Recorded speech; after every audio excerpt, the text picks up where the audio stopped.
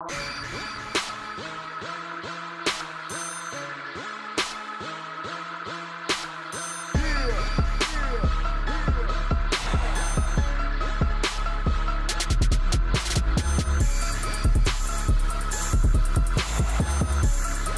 good, y'all? Thanks for tuning back in to Air Trafficking.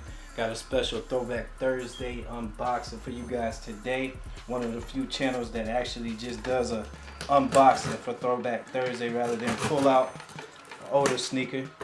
I'm not taking shots or anything, but that's why you should be subscribed. So make sure you hit that subscribe button for me. Hit the thumbs up while you're at it as well. Pick this one up from Sole Supremacy. It's a Jordan, Jordan 7 to be specific. So let's go ahead and see what we got here. Now this shoe released in 2011. There were talks of it being remastered and released this year, but as you see, we're almost to the end of the year. That didn't happen. But anyway, we got our old uh, Jordan box there. I didn't particularly care for these because they were a little bit cheap, in my opinion. But as you see, we got the Jordan 7 Orion and I'm happy to say I was able to pick this one up since it's so slept on and most people have a hate relationship for it. I was able to pick it up for pretty much retail of what it cost in 2011 when it came out. Thanks to Sole Supremacy giving uh, discounts through their Instagram and Twitter accounts on a regular basis.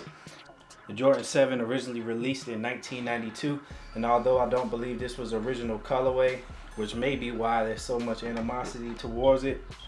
It's still very clean to me.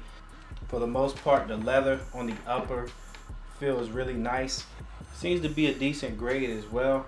Then you got your neoprene tongue with your red, white, and blue. And every tongue on the sevens, of course, is different. But in my opinion, it's a very wearable colorway. You can't go wrong with red, white, and blue. I can appreciate the black hits on the bottom there.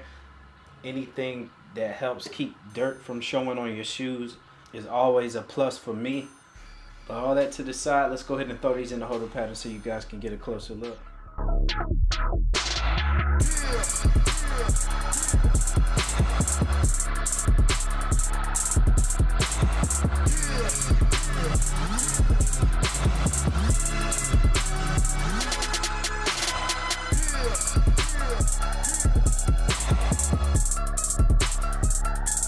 So as you guys can see, very clean colorway. Glad I was able to pick them up.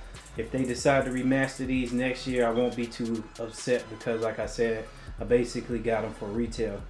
Make sure you guys hit the subscribe button if you're not already. I'm probably going to be launching another giveaway here in January. Hit the like button and leave me a comment down below. Follow me on Twitter, Instagram, and Snapchat at the name you see down in the bottom right hand corner. Keep it locked there, trafficking for more Throwback Thursday unboxings just like this one. Till next time, I'm taking off.